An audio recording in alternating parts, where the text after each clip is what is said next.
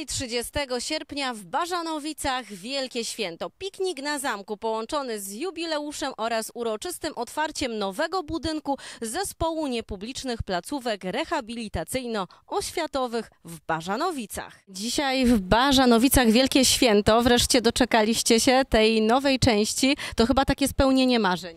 Tak, to jest spełnienie marzeń, to jest ogromny, y, ogromne święto dla nas, dla całej społeczności Polskiego Stowarzyszenia na Rzecz Osób z Niepełnosprawnością Intelektualną, bo po 30 latach wreszcie wszyscy razem będziemy w Bażanowicach.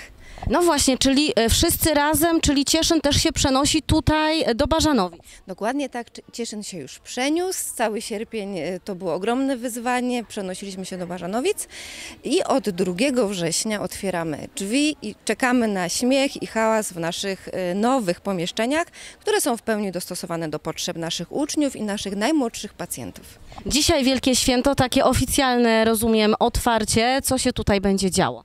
No, y, głównie to będzie miało taką formę piknikową, bo to będzie połączone i z rozpoczęciem roku, i z obchodami jubileuszu 30-lecia Pseoni Koło w Cieszynie. Otwarcie, przecięcie wstęgi, pokażemy wszystkim, jak tutaj będziemy mieli pięknie. Będą różne atrakcje dla najmłodszych. Pracownicy przygotowali masę atrakcji, malowanie twarzy, no przeróżne animacje, więc y, przyjadą y, motocykliści z, z SCI y, Cieszyn, więc myślę, przyjedzie Straż Pożarna, więc atrakcji będzie bardzo dużo. Serdecznie zapraszamy, do 17 się bawimy. No bo pani właśnie wspomniała, że to nie tylko ta nowa część, na którą tak długo czekaliście, ale to też jubileusz, też świętujecie. E, To jak przez te 30 lat e, rozwinęło się to Psoni e, jakie wy macie potrzeby jeszcze na chwilę obecną, bo zawsze te potrzeby jakieś są. Myślę, że rozwinęliśmy się bardzo, bo jakby poszerzyła się ta gama tej oferty, którą oferujemy dla, dla dzieci, młodzieży i dorosłych osób z niepełnosprawnością intelektualną.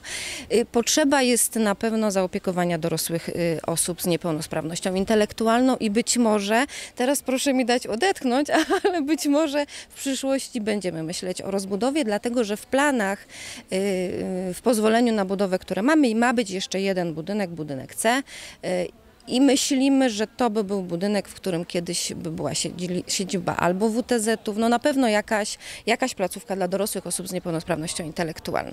Czyli jeszcze tutaj e, w tym miejscu, tak? W tym miejscu, w tym miejscu, bo, bo dzięki y, takiej ogromnej życzliwości pani wójt, my się tu w tych Bażanowicach czujemy jak w domu, więc myślę, to by było ogromne dla nas e, wyróżnienie i takie spełnienie marzeń, jak moglibyśmy tutaj jeszcze kiedyś wybudować ten budynek C. A ja myślę, że jak nam to tak dobrze poszło, że mieliśmy tyle wspaniałych ludzi się zaangażowało w to, żebyśmy pozyskali środki, że może się to uda.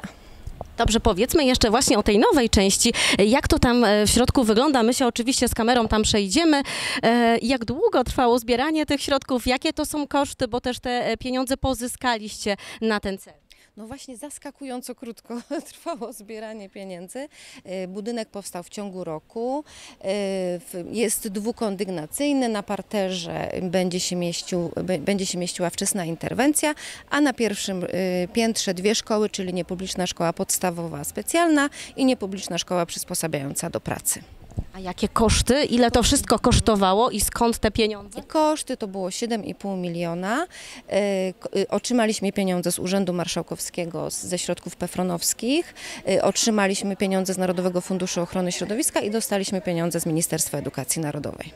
A te wszystkie akcje, placki i gofry, to też na ten cel? Ja, ale ja rozumiem, że oczywiście akcje będą. Oczywiście akcje będą, bo potrzeby są ogromne. My zawsze na coś potrzebujemy. Wszystkie pieniądze z, z akcji gofry, placki i inne atrakcje, które oferujemy, poszły na wyposażenie.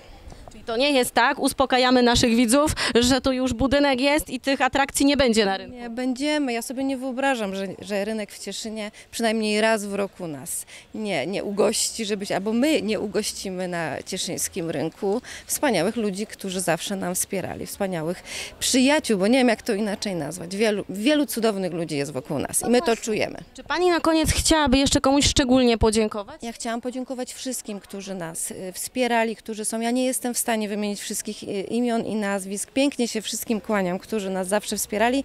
I ja myślę, że dzisiaj będzie taka okazja, bo, bo oby jakby potwierdziło y, bardzo wiele osób, że przyjdzie, więc dzisiaj będzie okazja, żeby wszystkim podziękować osobiście.